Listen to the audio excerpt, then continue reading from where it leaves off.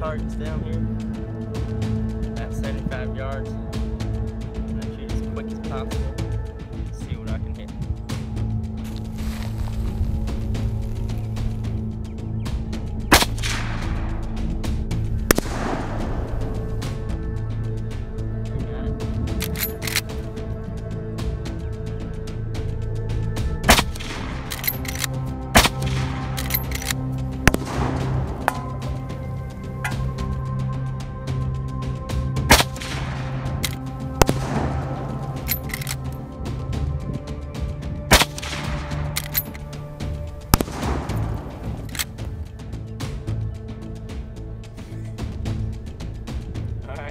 Watching.